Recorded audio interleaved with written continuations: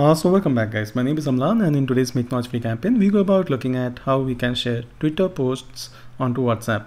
Head towards the Play Store and download the latest version of Twitter and now open up the Twitter app. So I will fire open the Twitter app. Now head towards any tweet that you find to be very powerful or impactful. So there are certain Twitter feeds which I really think can create a difference.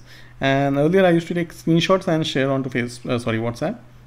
Now I can see that amongst the commenting options we have the WhatsApp option. I tap on the WhatsApp option and there are several options to share one of which is WhatsApp. I tap on WhatsApp I have dual WhatsApp therefore I have to tap on it again and then I can share it with any person that is there on the WhatsApp contact list and that is as simple as that. Now the person like when he or she opens up like that link it directly opens up the specific tweet. So that's how simple it is like i said like you simply need to head and install the latest version of twitter before you proceed to do all of this. So hopefully today's tutorial helps you understand on how to share twitter tweets onto whatsapp. And if you think all of this is helpful kindly consider subscribing to my channel. Also please do share this with your friends and family. I would love you commenting on like the channel comment section letting me know how you find this tutorial and that shall be all.